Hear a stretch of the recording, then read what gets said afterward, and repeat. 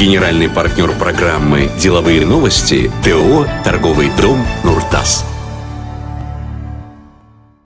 ТО «Торговый дом Нуртас» предлагает качественный фракционный щебень каргалинского месторождения диабаза марки М1000, а также фракционный щебень акшатского месторождения известняков марки М800. Возможна доставка. Нуртас. Лучший щебень у нас. Наш телефон 40 60 36.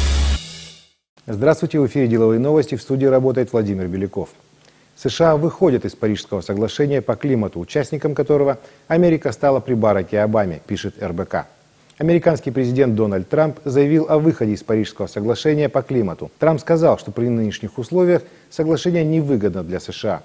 Он пояснил, что к 2025 году США могли бы потерять 2,7 миллиона рабочих мест при исполнении всех положений соглашения. Трамп пообещал провести новые переговоры, чтобы оно стало справедливым для американцев, говорится в публикации.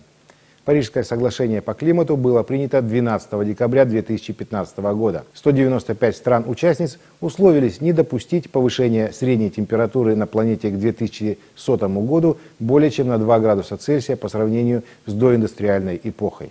Костак сообщает, суммарный прирост ВВП стран Евразийского экономического союза в результате заключения соглашения о зоне свободной торговли с Индией может составить 1,4 миллиарда долларов в краткосрочной перспективе и 2,7 миллиарда долларов в долгосрочной, заявила член коллегии по торговле Евразийской экономической комиссии Вероника Никишина.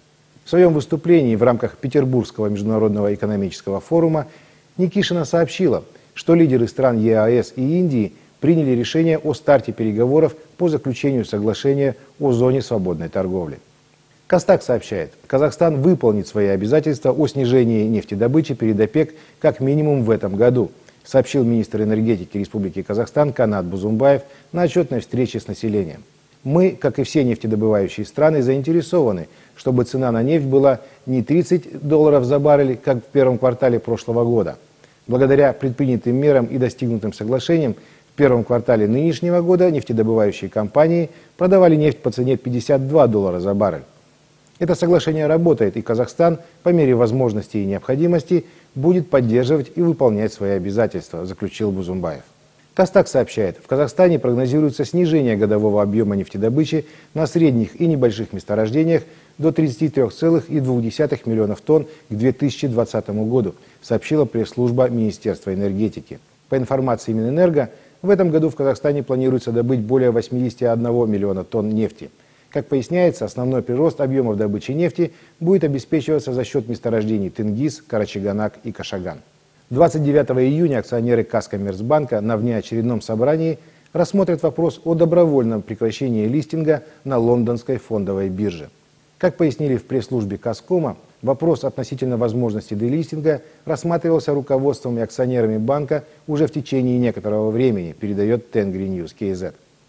Это связано с низкой ликвидностью на этой бирже, а также отсутствием планов у банка по привлечению акционерного капитала на фондовом рынке.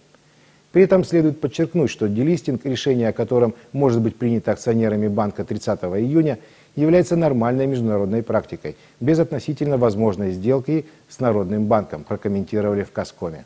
Американский пивной гигант Budweiser начал собственное расследование после того, как в соцсетях появилась видеозапись, сделанная на одном из подпольных заводов по производству пива в китайском городе Дунгуань. На обнародованных кадрах видно, как женщины голыми руками зачерпывают пустыми банками из-под пива Budweiser некую жидкость из пластмассовой емкости – конце ролика в цеху появляются сотрудники полиции. Как сообщает Шанхайст, подпольное предприятие ежемесячно выпускало свыше 600 тысяч ящиков поддельного Budweiser, которые отправлялись в бары и ночные клубы. Это были деловые новости. Всего вам доброго и до свидания. Генеральный партнер программы «Деловые новости» ТО «Торговый дом Нуртас». Нұртас сауда үйі жауапкершілік шектеулі серіктестігі қарғалы кен орнының м мың маркалы сапалы фракциялық тасын ұсынады. Сонымен қатар ақшат кен орнының белгілі м 800 маркалы фракциялық тасы жеткізу мүмкін. Нұртас ең үздік тас бізде. Біздің телефонымыз 40 60 36